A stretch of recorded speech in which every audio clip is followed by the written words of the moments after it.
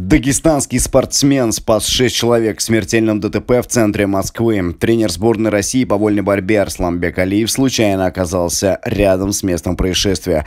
Утром в центре Москвы на пересечении Причистенки и Зубовского бульвара «Мерседес» на полной скорости врезался в жилой дом и загорелся. По данным оперативников, машина проскочила на красный, водитель не справился с управлением. «Мерседес» сразу охватило пламя. Рядом оказался гостивший у друзей в Москве дагестанский спортсмен, тренер сборной сборной России по вольной борьбе Арсламбек Алиев. На звук выбежали сюда. Огонь. Сразу машина начала гореть. Нам полицейские запретили подходить. Мы сломали окна, двери с арабами, ребятами. Они первые все это начали. И вытащили ребят передних. Кого зажало, не смогли.